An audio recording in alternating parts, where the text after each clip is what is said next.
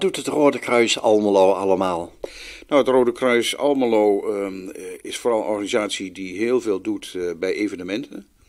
Dus de ondersteuning eh, bij evenementen leveren en eh, in geval van calamiteiten, noodgevallen ook te kunnen helpen. Dat is een van de belangrijke onderdelen. Daarnaast geeft het Rode Kruis Almelo ook cursussen, EHBO-cursussen. en dat is eigenlijk wat hoofdbestanddeel van wat hier gebeurt. Ja. De afdeling Almelo bestaat dit jaar 150 jaar. Welke gebeurtenissen springen er dan uit? Nou ja, wat opvalt als je zo terugkijkt, die 150 jaar, is natuurlijk de Tweede Wereldoorlog een enorme uh, invloedrijke gebeurtenis geweest. Ook in Almelo. Uh, het Rode Kruis heeft daar niet altijd de rol gespeeld die het zou moeten spelen, maar in Almelo wel. Daar heeft men toch, uh, ondanks de weerstand van de bezetter, heel veel goede dingen gedaan. En dat onderscheidt Almelo ook wel van heel veel andere afdelingen in dit land. Ja. Hoe staat de afdeling Almelo er anno 2019 voor? Ja, heel goed. Heel goed. Het is, uh, Almelo was een beetje een moeizame afdeling. Is ook nu geen officiële afdeling meer, maar valt rechtstreeks onder het district. Maar het aantal mensen dat hier nu bezig is, is zo enthousiast en zo deskundig. dat wij als district hebben gezegd: van nou, het gaat heel goed met Almelo. Almelo sterker nog, is een voorbeeld voor Twente als het gaat om hoe je de dingen moet regelen. Zijn er meer afdelingen van het Rode Kruis rond 1869 opgericht? Uh, een paar, maar landelijk is dat de oprichtingsdatum. Het Rode Kruis bestond vorig jaar 150 jaar. Maar dat een afdeling zo oud is, dat is uniek. Wat kenmerkt de afdeling zo? Nou, Almelo is, uh, is een afdeling die, uh, die het heel moeilijk heeft gehad een aantal jaren, maar die de afgelopen jaren zo ongelooflijk zich goed heeft ontwikkeld, dat het een voorbeeld is geworden voor, uh, voor Twente. Lopen ze voorop in bepaalde dingen? Een aantal dingen zeker, ja. En dat is dankzij de inzet van, van de goede vrijwilligers die hier in Almelo aanwezig zijn, ja. Kunt u enkele voorbeelden noemen? Nou, wat, wat in Almelo vooral goed draait, dat is uh, de evenementenhulp. Dat loopt fantastisch. De uh, eh, EHBO-cursussen lopen goed. Dat gaat uitstekend. De inzet van mensen is uh, goed. Hoe staat het met de werving van vrijwilligers of nieuwe vrijwilligers? Ja, dat is heel verschillend. Dat hangt ook een beetje van, van, van het project af. Evenementenhulp gaat redelijk goed. Uh, maar algemeen, en daar kampen alle vrijwilligersorganisaties mee, is het heel moeilijk om jonge mensen te trekken. En mensen van andere afkomst. Daar werken we hard aan, maar daar zijn we nog niet klaar mee. Wilt u tot slot mijn zin aanvullen? Als er in Almelo geen afdeling van het Rode Kruis zou zijn, dan... Zou Almelo een stuk minder veilig zijn. Dank u wel. Graag gedaan. Leden van Groei en Bloei Almelo en omstreken ruilen elk half jaar bij stadsboerderij Beeklust de planten die ze over hebben wanneer ze hun tuin voorjaars- of winterklaar gemaakt hebben.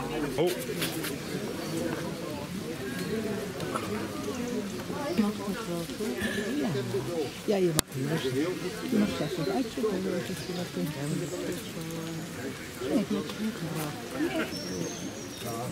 groei. Waarom niet weer? Groei. Ja, natuurlijk. Maar ja, hij is één keer opgeschoten.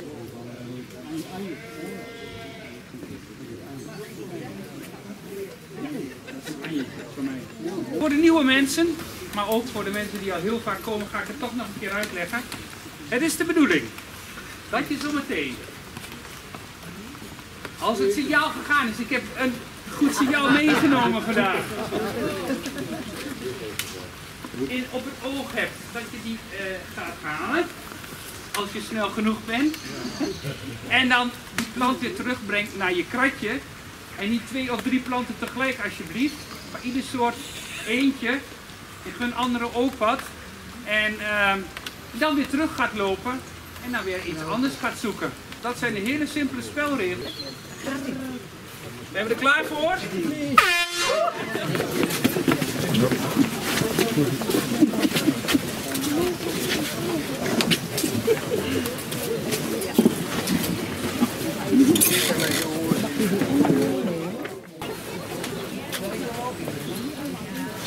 Kom bij jou kijken hoe mooi het gebeurt. Ja, ja, ja. ja. Dat is toch door hoor. Nee, nee, nee. Dat gaat mooi hè, foto. Mooi hoor. Die wordt. Nou, als je dan weg Ja,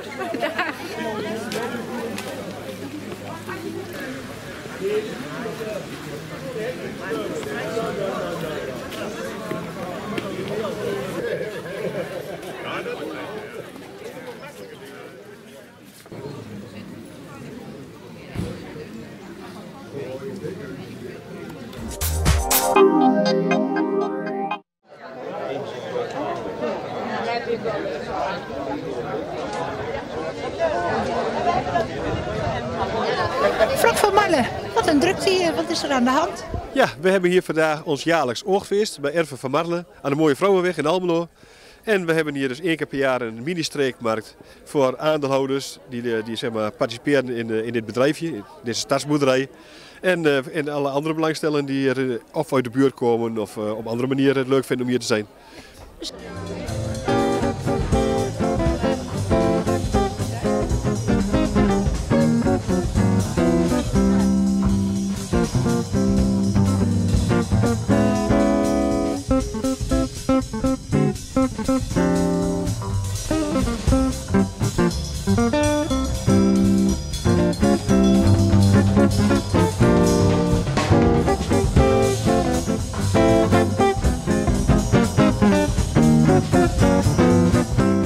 Andere manier van boer zijn, hè? Heb je een trekker?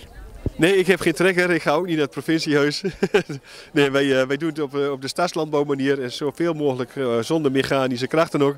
Dus ja, op die manier proberen wij de landbouw ook te bedrijven. Ja. Nou, wat is hier allemaal te doen dan? Nou, vandaag is er dus een streekmarkt met allerlei standjes. eh, van, eh, van, eh, van pompoenen tot honing, tot, tot kaas, tot bier. Allemaal zelf gemaakt. Limoncello zelf gemaakt. En allerlei lekkere hapjes en drankjes met een topkok. Dus ja, nou, we hebben gewoon eh, van alles wat. Topkok. Ja, ja, ja. Lucas Kolsteen van Eertrijk. Die, die komt hier elk jaar op het Oostfeest koken. En nou ja, de mensen eten de vingers er bijna erbij op. Dus dat is elk jaar een groot succes.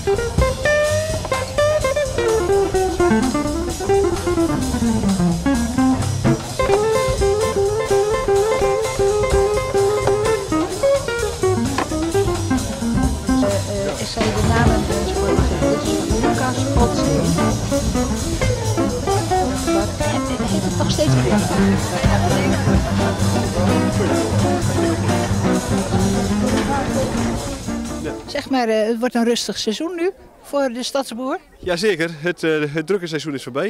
In, de, in de zomer is natuurlijk zonder meer veel meer werk op de boerderij. Maar wij, eh, wij melken in de zomer de schapen ook en maken ook kaas van. En dat is nu voorbij. De kaas wordt hier dus ook verkocht nu.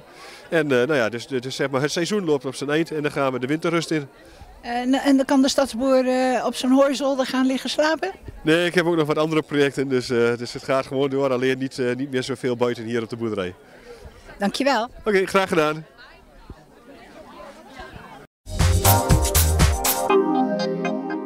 Ik sta hier bij Ank Johannink. Zij is een van de standhouders hier vandaag van, op de Crea-beurs in het Dok. Wat heb je vandaag zoal meegenomen, Ank? Eh, nou, van alles wat. Setjes met kollen en mutsen voor kinderen en voor volwassenen. Jammetjes, gehaakte speeltjes, rammelaartjes. Setjes voor baby's, eh, doekjes, slakjes. Te veel om op te noemen, ik hoor het al. Wat maakt dat jij altijd eh, van die dingen in elkaar zet? Ik hou van handwerken en vooral de variatie erin. De ene keer haken, dan weer breien, dan weer naaien, van alles. Dus je, je kan je daar eh, heerlijk in uitleven.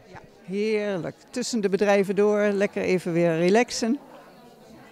Het is voor jou dus gewoon relaxen. Ja, dat klopt, dat klopt. Maar diegene die komt, die kan hier wel ideeën op doen. Dat is het, dat is het. En dat mag ook van mij hoor. Ik bedoel, ze mogen best naapen. Ik heb het ook niet allemaal van mezelf. gezinsboer. Ik ben hier altijd de beheerder geweest in de DOK, een aantal jaren geleden. En ze hadden mij gevraagd of ik dit wel wou opstarten. Ik zei, nou, dat wil ik wel doen. Dus zodoende eh, zijn we hier weer begonnen. Het is even verwennen. Ik eh, maak veel dingen van klei. Dus van klei en tempexbolletjes met aluminiumfolie. En zo is dit gemaakt. Dan krijg je hele bijzondere creaties. Ja, p- precies. Zoals deze. Oh. Kijk. Er zit, een er zit een lampje in. Die kan aan. En zo heb ik hem in klein en in groot. Hè? En daar is er nog eentje met een spiegel, zie ik. Het is gemaakt van recycling plastic eh, flessen. Er zitten gewoon plastic flessen in. En daar kun je lampjes in doen. Dus dat, eh, dat plastic kunnen we beter eh, oprapen en iets van maken, dan, Er zijn ook twee dan heeft het nog weer een functie. Twee shampootjes. Deze kan toevallig niet bewegen. Maar ik heb daar een, een vrouwtje, dat is een mannetje en een vrouwtje wat ik heb. En die kunnen... Het, het vrouwtje eh, is meer bewegelijk. eh, Dit zijn gewoon eh, Duitse borrelglaasjes. Die zijn op de kop en hangen ze in, zo- in zo'n rekje. En daar heb ik dus Tempex bolletjes gepakt. En daar heb ik dus dit van gemaakt. het ontbreekt u in ieder geval niet aan fantasie als ik dat zo bekijk. Eh, die man werd verbannen voor tien jaar naar de bergen. En de vogel op zijn hoofd, die vrat steeds zijn lever op. En die lever groeide steeds maar weer aan. En na tien jaar werd hij bevrijd uit de bergen. Dus dat is een, he- het is een hele bijzonder, een, een soort sprookje zeg maar. Een sage, een sage, een legende, een overlevingsverhaal. Heel erg leuk en ik, ik- ja, ik zou zeggen eh, gewoon doorgaan. Doen we wel. Hè? We maken er nog een keer 75 van. Dank u wel.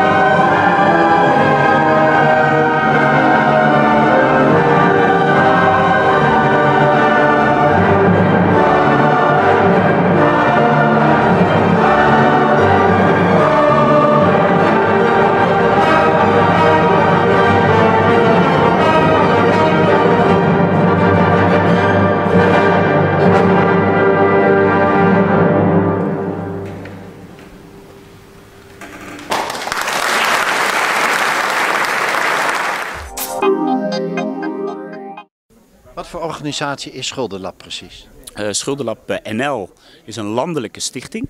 Een non-profit organisatie die samenwerkt met allerlei publieke en private partijen. Verzekeraars, woningbouwcorporaties, banken, gemeenten, overheden, belastingdienst, noem het maar op.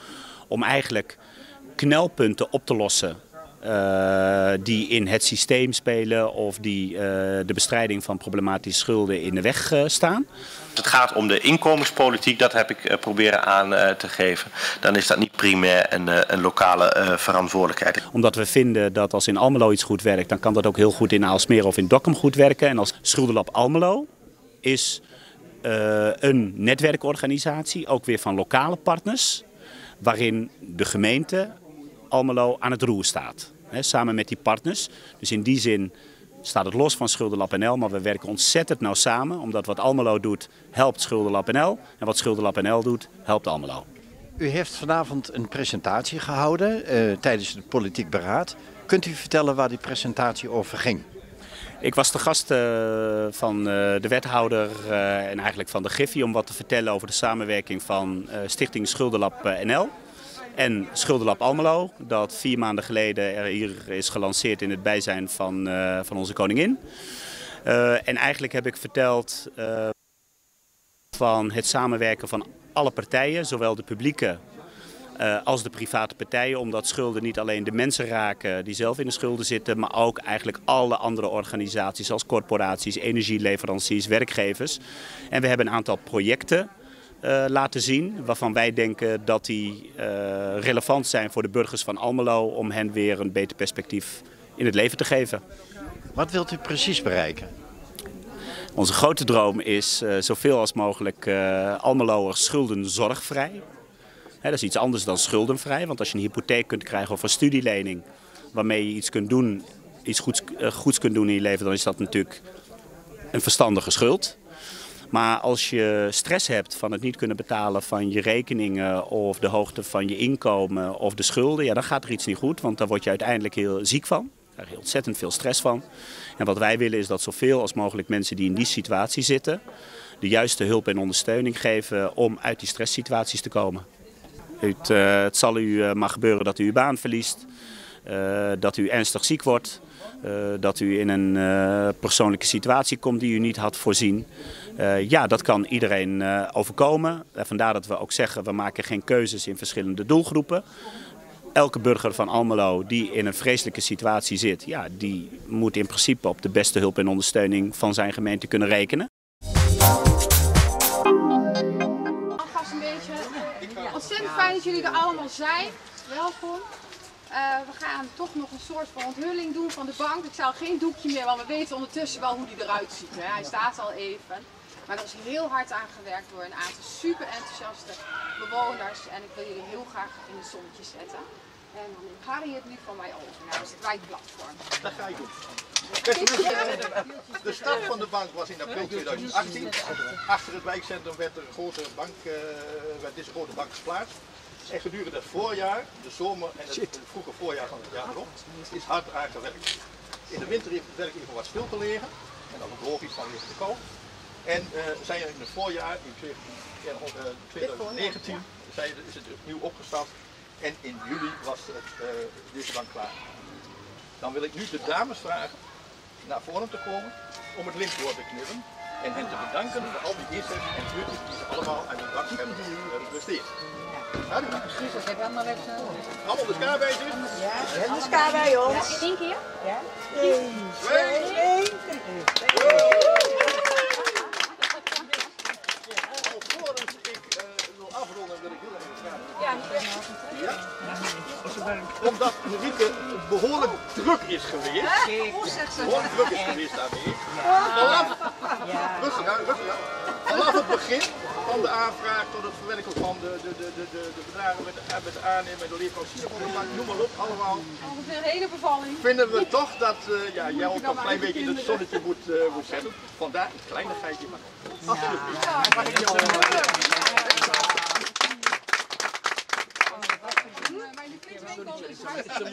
Ja, Drie jullie allemaal ontzettend bedankt. Ja, het was super gezellig. En het bekken, hè?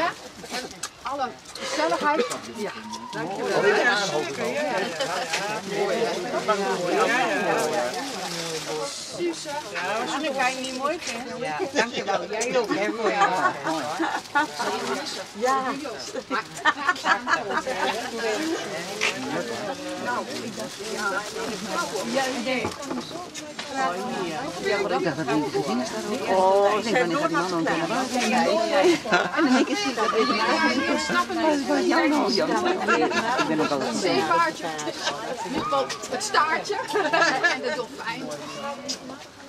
Ontzettend bedankt. Dankjewel. De laatste bos bloemen is eigenlijk bedoeld voor, voor vandaag naam voor het dok. Ja, ik wil namelijk ook nog even goed benoemen dat het dok ons alle medewerking heeft gegeven. Zodat we de, de bank achter het dok mochten maken, onder de tent. En eh, we zijn altijd eh, royaal voorzien van koffie en thee en koekjes. En eh, heel veel mensen kwamen ons ook aanmoedigen en ons vertellen hoe mooi het was. Dus we hebben echt genoten ook eh, van het maken zelf daardoor. Dus deze is voor Dok. Het was altijd een gezellige bijeenkomst. Ja, heel veel van elkaar. Alles van elkaar. Wij nou. Willen jullie eerst op dat bankje zitten? Dan het volgende. Ja, kom. Ja, ja, ja. Ja, leuk. Kom erbij, kom erbij, kom erbij. Ja. Lachen.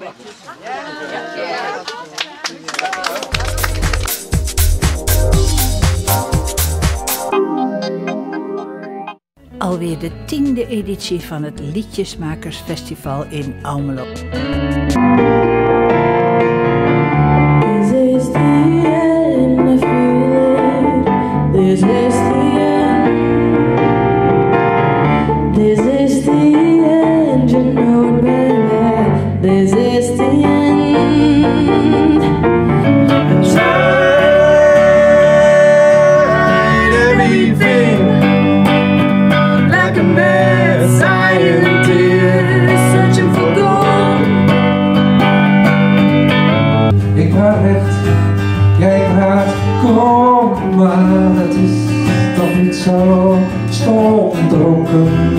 Dronken zijn wij allebei,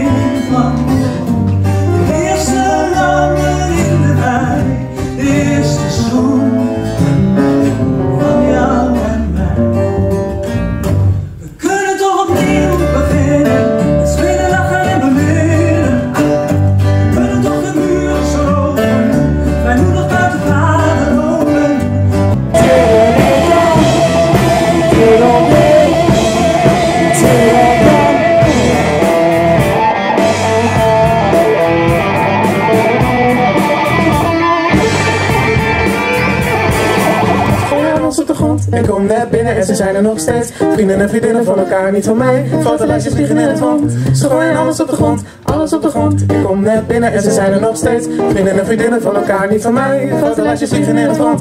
Ze gooien alles op de grond. Scherven biggelen neer van mij. Ze moet door, door, door, door, door. Ze moet door. Zo gaat het in die verzorgers thuis ook altijd. Door, door, door. We moeten door. Door, je eruit. Door.